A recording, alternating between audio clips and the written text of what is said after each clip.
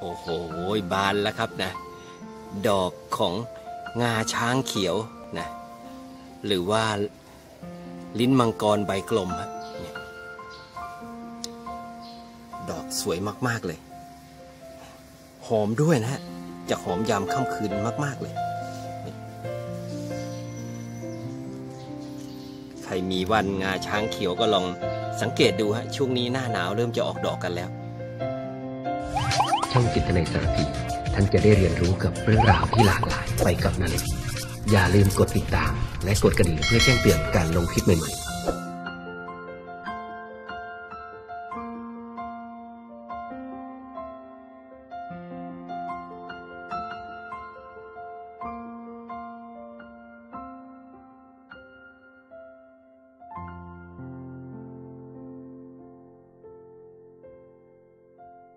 สวัสดีครับวันนี้ช่วงหน้าหนาวๆนะก็จะเป็นช่วงแห่งแบบความสวยงามของดอกไม้ ความหอมของกลิ่นของดอกไม้นะวันนี้นะเล็กก็พามาชม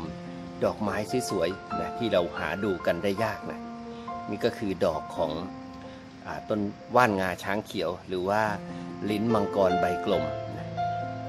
ใบกลมก็จะมีว่านงาช้างเขียวกับว่านงาช้างลายนะ แล้วก็เนี่ยใบแบนก็จะเป็นแบบเนี้ยนะใบสีทองนะ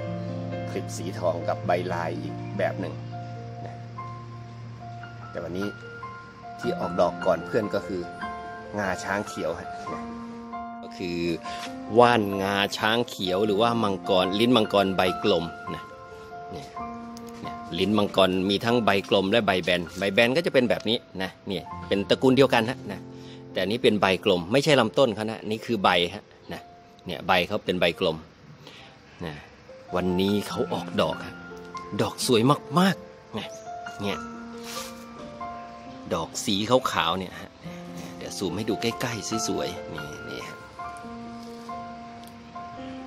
ใครไม่เเคยเห็นนะนาเล็กก็เก็บมาให้ชมอีกแล้วนะเนี่ยหน้าหนาวมีดอกไม้หอมๆเนี่ยยามค่ำคืนเนี่ย ตอนกลางวันจะไม่หอมนะ ไม่คือหอมน้อย แต่พอกลางคืนโอ้โหกลิ่นมันแบบ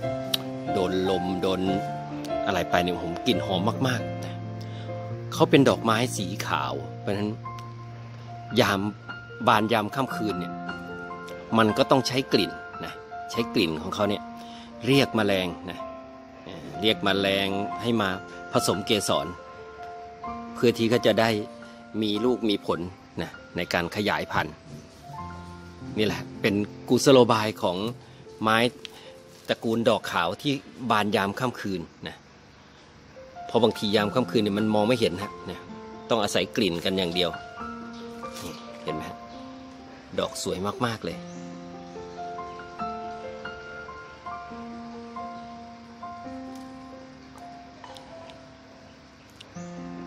ช่อของเขาเนี่ยบางทีก็ยาวเป็นฟุตสองฟุตเลยนะเนี่ยแต่ตัวนี้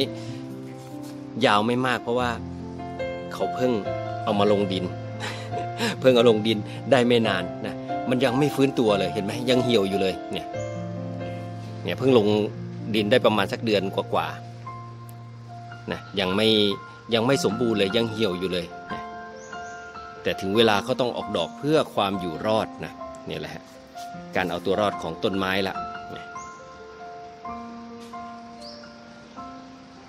อะครับผมสำหรับวันนี้นาเล็กก็เก็บมาฝากกันเพียงเท่านี้ครับผมครับขอบคุณครับที่ติดตามรับชมช่องกิตนายสารพี ชอบอย่าลืมกดไลค์กดแชร์กันนะผม สวัสดีครับ